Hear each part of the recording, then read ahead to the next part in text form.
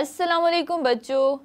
आज हम पढ़ेंगे कुदरती मसाकन पर इंसानी सरगर्मियों के असरात बच्चों, हम पहले पढ़ चुके हैं कि जंगलात, सहरा, घास के मैदान, ताज़ा और नमकीन पानी के ज़ख़ायर मुख्तलिफ़ जानदारों के मसाकन हैं।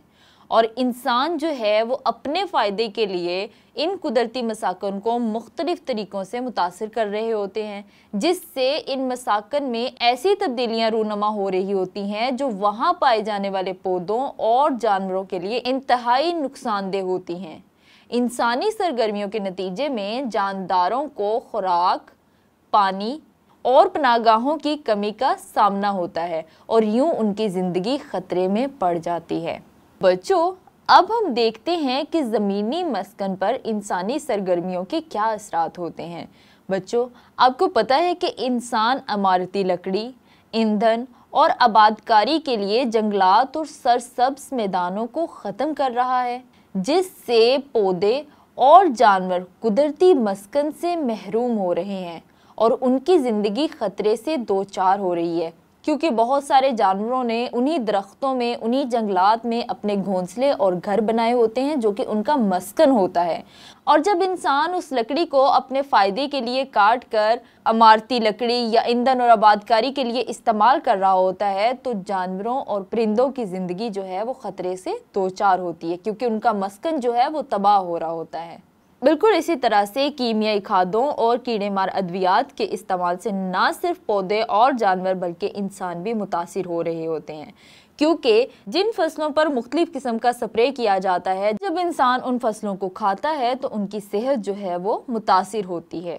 अब हम देखते हैं कि आबी मस्कन पर इंसानी सरगर्मियों के क्या असरात होते हैं। बच्चों, आपको पता है कि फैक्ट्रियों और घरों से निकलने वाला गंदा पानी आबी मसाकन को आलूदा करता है, जिससे वहाँ पाए जाने वाले जानदारों की ज़िंदगी ख़तरे में पड़ जाती है।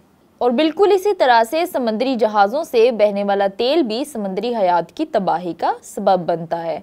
आपने देखा होगा कि समंदर जो है, वो कछुओं और मछलियों का मस्कन है और जब समंदरी जहाज़ों में से तेल बहता है तो वो उनकी स्किन को इफ़ेक्ट करता है, उनके मस्कन को तबाह करता है।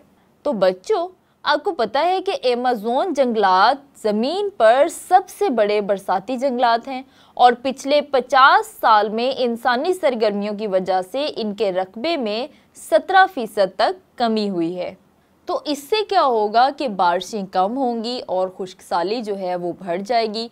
तो बच्चों, मुझे उम्मीद है कि आपको इफ़ेक्ट्स ऑफ़ ह्यूमन एक्टिविटीज़ और नेचुरल हैबिटेट बहुत अच्छे से समझ आ गए होंगे, जिसमें हमने पढ़ा ज़मीनी मस्कन पर इंसानी सरगर्मियों के क्या असरात होते हैं और आबी मस्कन पर इंसानी सरगर्मियों के क्या असरात होते हैं।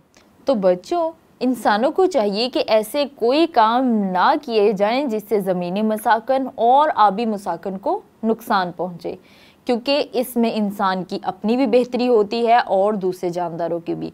तो मुझे उम्मीद है कि आपको ये लेसन बहुत अच्छे से समझ आ गया होगा। अपना बहुत सा ख्याल रखिएगा और मुझे दें इजाज़त, मैं मिलूँगी आपसे अगले लेसन में नए टॉपिक के साथ। तब तक के लिए अल्लाह हाफिज़।